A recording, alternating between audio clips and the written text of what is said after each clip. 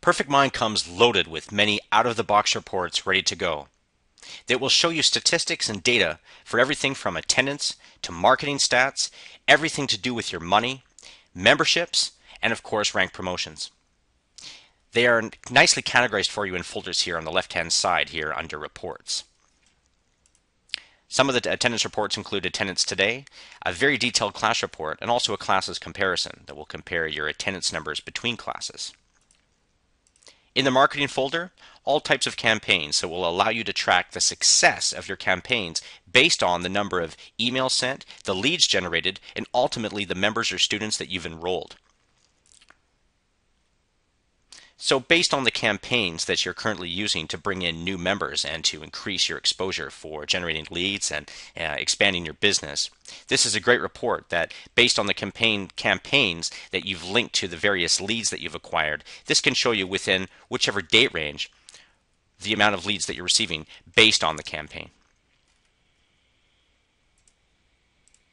The membership folder contains several reports everything from passes expiring within 60 days to current memberships by status,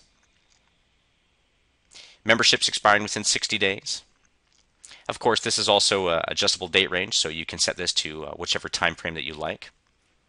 The amount of memberships sold by month by salesperson, and of course, sold, sold memberships by program.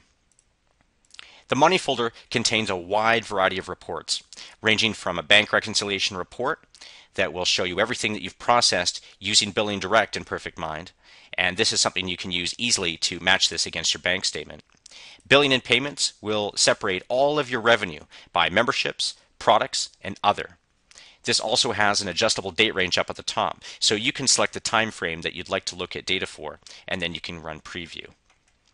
This will also tell you credit cards that are expiring next month, any EFTs currently in progress through Perfect Mind, a forecast report, that can show you all of the data that you can expect to take in based on scheduled invoices within the next 30 days. And of course, this is another adjustable date range, so you can set it to whatever time frame that you like.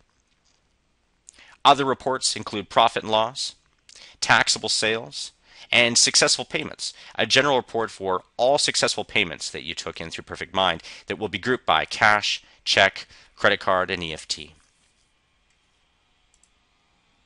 And then for rank promotion, features reports for belt order. So this will tell you based on who's ready for testing this month, what belts you need to order so you can place those orders. And other reports include promotions, who is to be promoted, and who is to be promoted this month.